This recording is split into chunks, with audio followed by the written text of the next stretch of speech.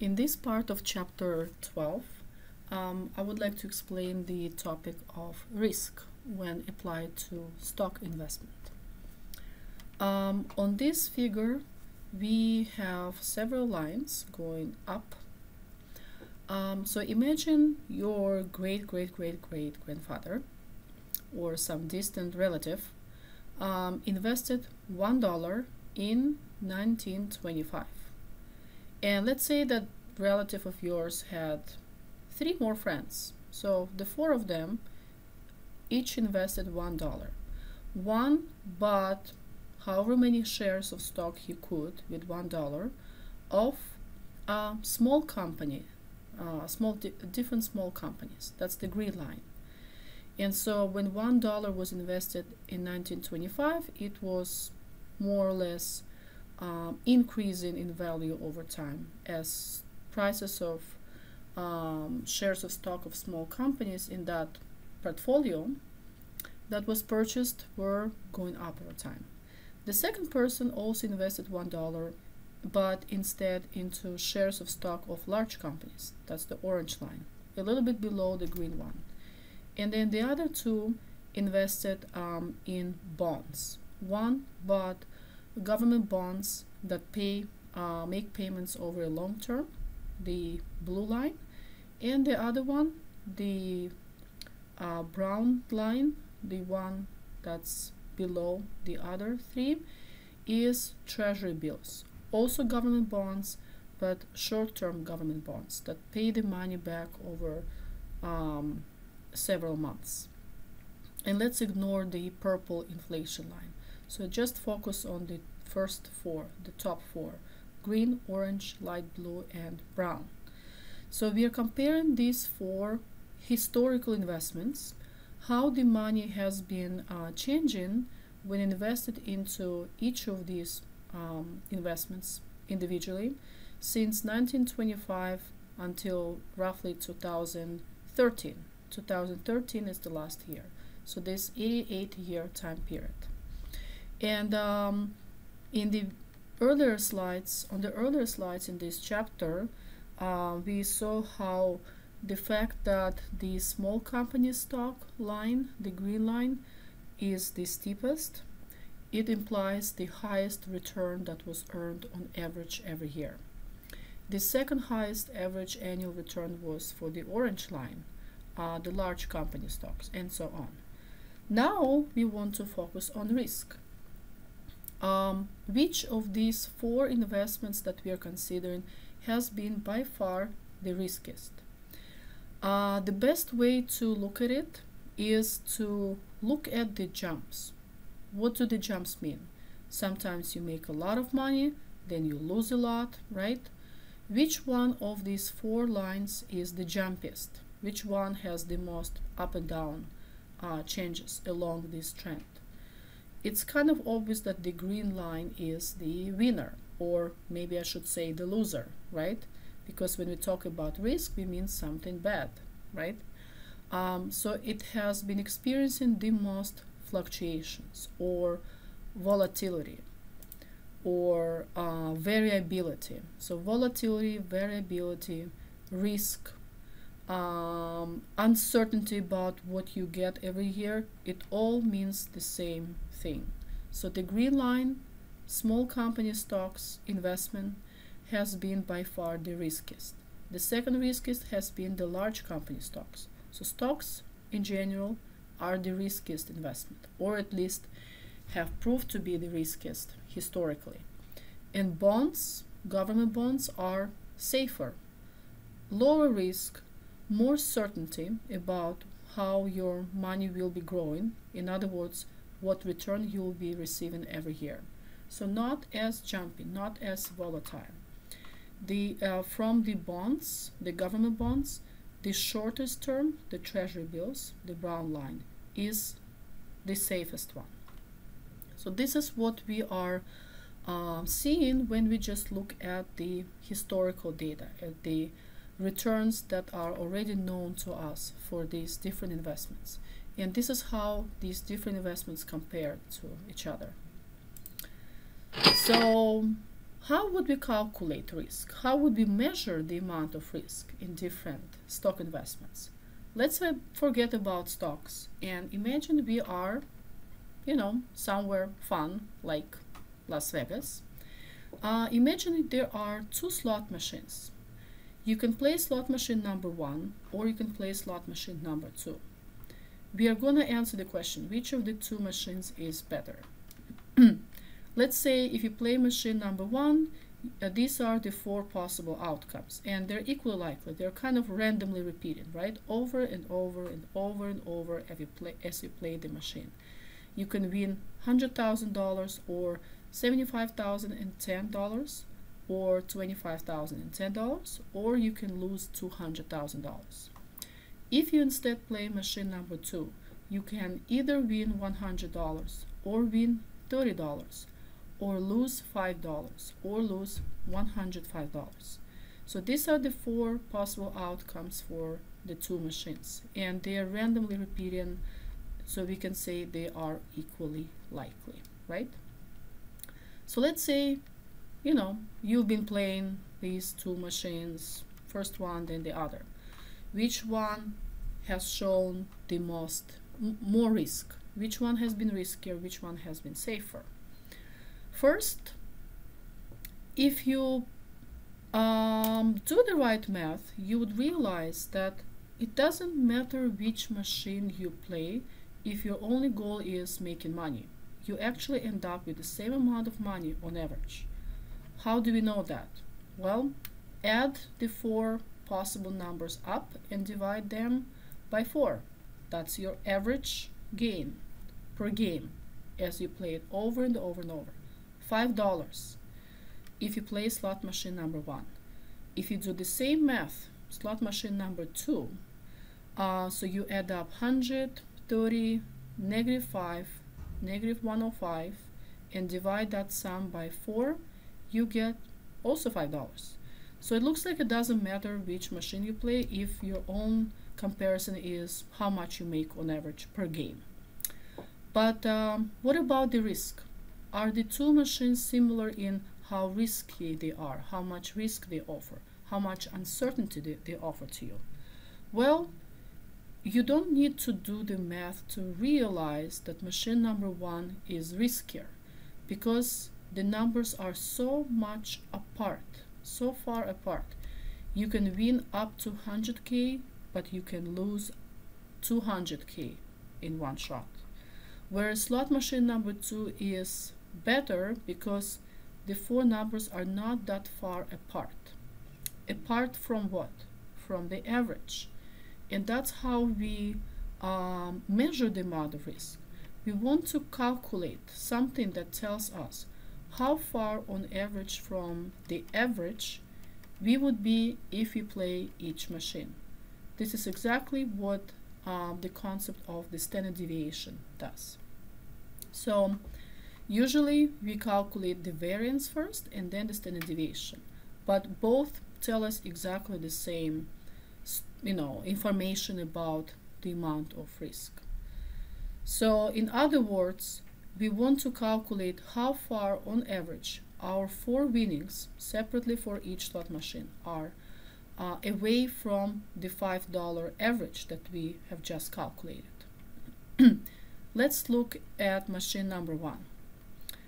Um, we calculate the distance from five dollars uh, for each of the um, possible outcome. So 100,000 minus 5 and we want to add up those distances from the $5 average and you know find their average the average distance from the $5 average but if we don't add the power 2 we're gonna get 0 because everything will cancel out. Um, when we win, we may be above the $5 average. When we lose, we will be below. And that's why the sum of all distances will always cancel out perfectly and we would get zero. In order to not get zero, we can use this trick by adding the second power, uh, squaring the distances from the average. and that eliminates the whole you know plus sign being cancelled out by the minus sign for some of the terms um, another little detail that's important when we uh, look at historical um, variance calculation. We don't divide by 4 but we divide by 4 minus 1 this is something they call the uh, degree of freedom in statistics. So stat um, the stat field is sort of where you would learn kind of the depth of this um, um, you know way of calculating the variance more accurately so not by 4 but by 4 minus 1 which is 3 in other words so we get this large number that's the variance and then we take the square root of that which is in a way uh, removing that second power that we added, just so nothing gets cancelled out. So the square root of variance is the standard deviation, and we get $136,933. This means that if we keep playing um, the slot machine number one, we would be on average earning $5 per game, but the actual um, amounts of money we would be making or losing uh, would be $136,933 either above or below the $5 average. So that's the average distance from the average. We can now do the same calculation for slot machine number two. Um, squared deviations from the mean added up divided by 3. So not by 4, but 4 minus 1, which is 3. That's the variance. The square root of that is the standard deviation, $85, which means we are winning on average $5, but um, the actual amounts we would be seeing are on average $85 above or below $5.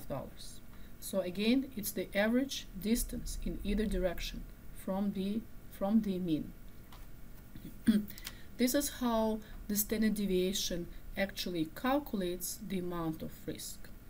And so now we can compare the two machines sort of in the scientific way. We calculated the standard deviations. Which one is higher? Slot machine number one. That's the riskier machine. This is how we compare risk. And it's definitely more uh, relevant when we are not sure by simply looking at the numbers which one implies um, you know a higher distance from the average. In this example, it's pretty obvious, but when it's not, you have to calculate the standard deviation, which will tell you exactly where you see a higher amount of risk.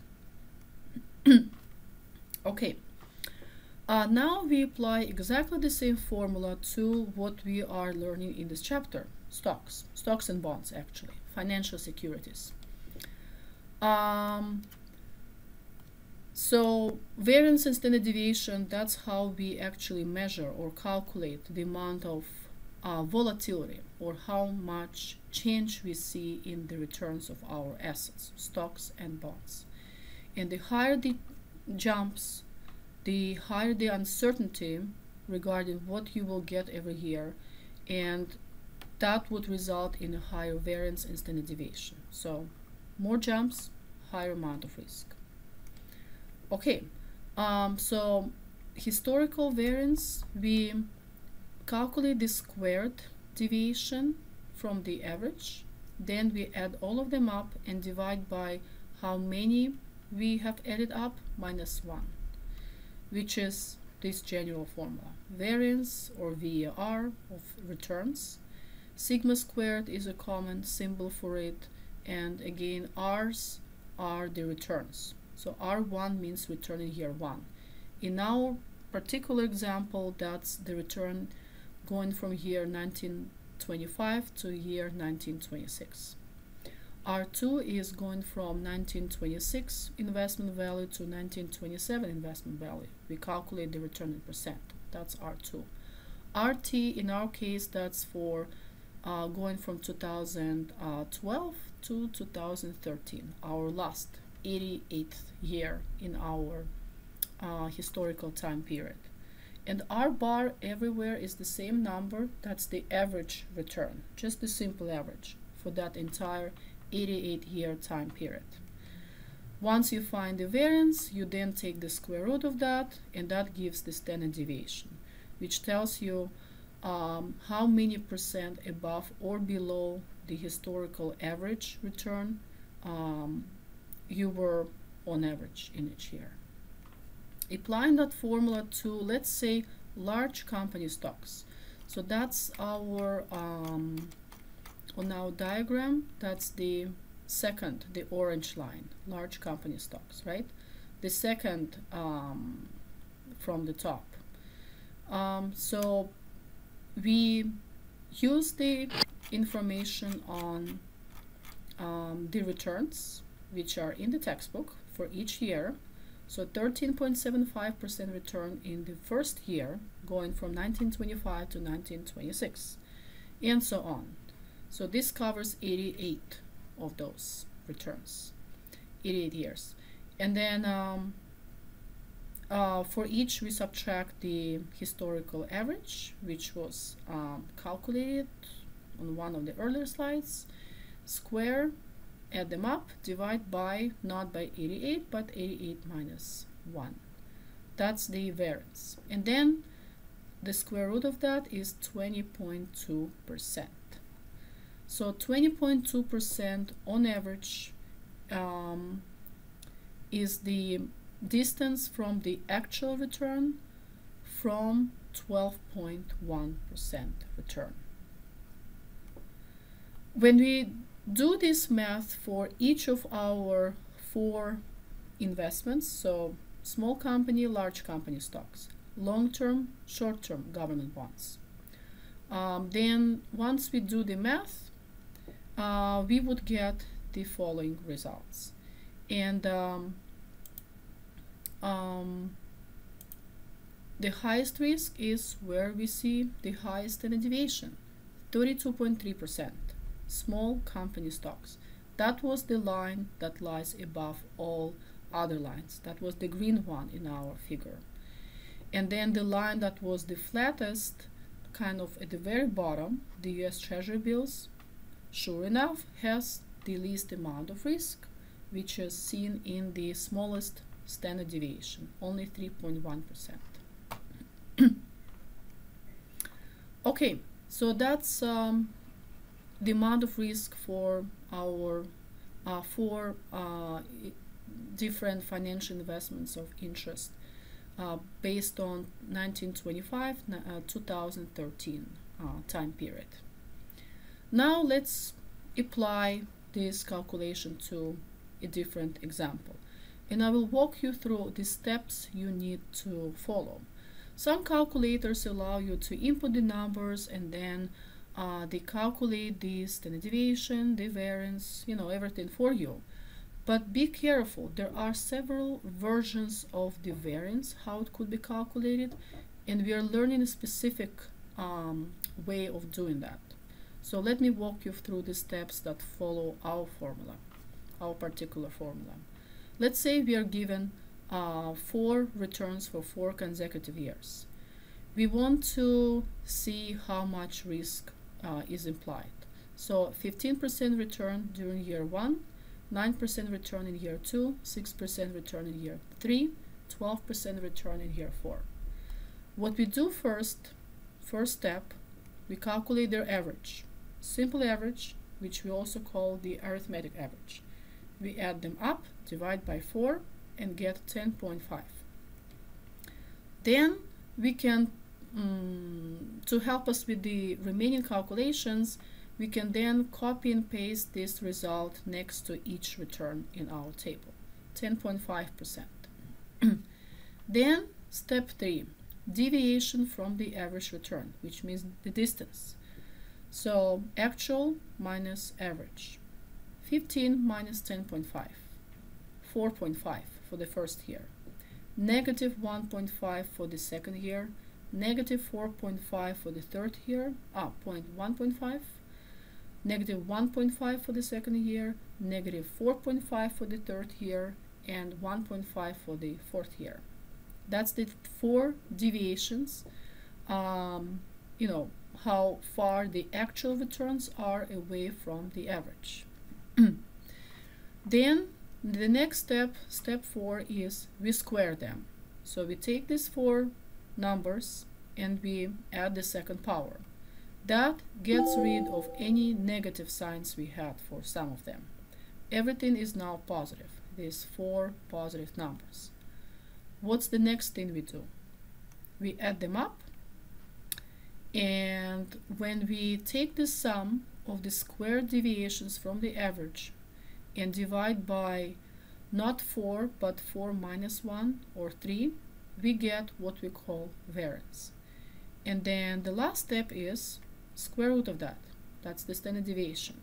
The square root of 0.0015 is 0.03873 or 3.873 percent which means uh, when you invested into such um, investment that produced these actual four returns for the four years. That tells us that on average the return was 10.5% per year, but the actual returns were on average 3.873% either above or below this average, 10.5% average, either above or below. So uh, in either direction, you know, um, this much away from the average. So these are essentially the steps we are following to find the standard deviation, which is the measure of risk. and then the next few slides kind of take us one step further. Now that we uh, hopefully understand what we mean by risk and how we calculate it, then we can um, say even more about the riskiness, the amount of the amounts of risk for our different investments. Uh, in this table, we have large company stocks, small company stocks. We also have treasury bills and long-term government bonds, the four that we were looking at a second ago. But the table has even a few more. Uh, average return for each, standard deviation or the amount of risk for each, you might recognize some of these numbers that came up a few minutes ago. And in the last column, we have what is called frequency distribution for each investment. What do the frequency distributions show? Let's pick an example. For example, um, large company stocks, right? In our table, that's number one, the first row. Large company stocks. We are essentially saying something like this. Let's say earning a return between 0% and 10% over one year. How many times did that occur? What's the frequency of earning that high return? Well, it occurred in 1947, in 1948, in 1956, in 1960, and so on. So we can count how many times it occurred, what the frequency was. And different returns occurred in different years. Some uh, returns were kind of more popular, like the tallest column is for the return between 20% and 30%. That's in one year. That's where we have the most years, right, in which it occurred. And so we kind of basically, you know, um, increase the height of the columns for the return which was more common. And clearly something unusual like losing more than 40% of your money in one year. That only occurred once in 1931 that's actually part of the financial um, uh, like the great uh, depression financial crisis uh, in 1930s Then other unusual returns, for example, very good returns, earning between 50% and 60% in one year, that occurred only two times. Okay, so that's what the frequency distribution tells us. That's how it's built. Now let's kind of simplify it. First, what does it look like? It looks like what we call the bell curve, right? kind of smoothly goes up and then goes down. That's um, what the normal distribution looks like. So normally um, there's this peak somewhere in the middle and then what's below the peak and what's above the peak is less common, has a lower occurrence or lower frequency, and it's symmetric on both sides. That's the normal distribution. Okay, um, so this is an example still on large company stocks. Let's answer a few questions. Question number one. In the middle, right where we see this, you know, the peak, uh, we have a zero and then we have 12.1%. What is 12.1%? If you go back a couple of slides, that was nothing but the average return. Average over that uh, time period between 1925 and 2013. now, next to it, um, to the right, 32.3%. Above it, it says plus 1 sigma. Sigma is the notation we use for the standard deviation.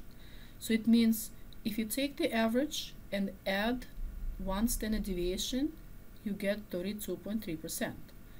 Does the math add up? Well, let's go back a couple of slides.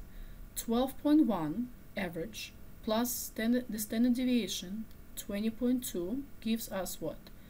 32.3 right 32.3 we can instead subtract one standard deviation which would give us negative negative 8.1 percent we can also add or subtract two or even three standard deviations and we can even go beyond that and we would kind of calculate the resulting percent uh, return for those. So that's the answer to question number one. Question number two. Um, there are three extra numbers under this bell curve. 68%, 95%, 99%. What does, for example, 95% show?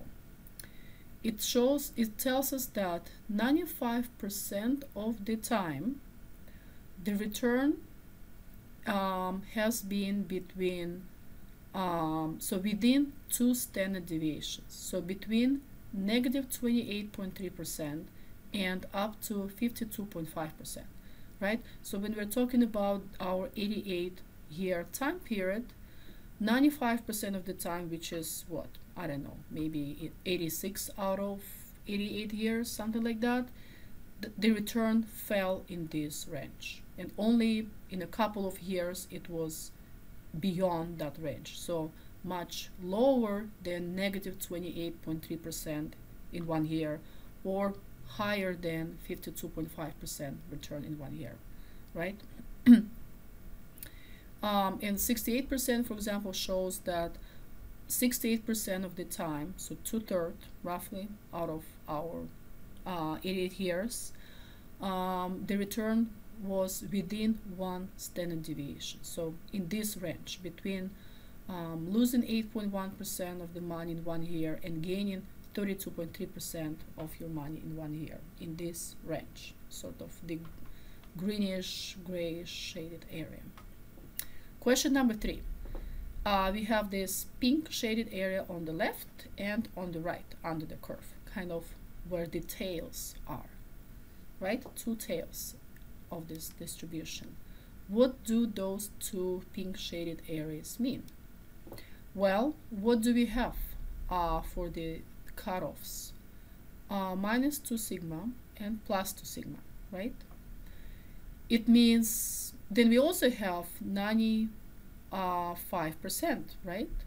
So 95% of the time we are within this range and 5% of the time, the remaining 5% of the time, we are outside this range.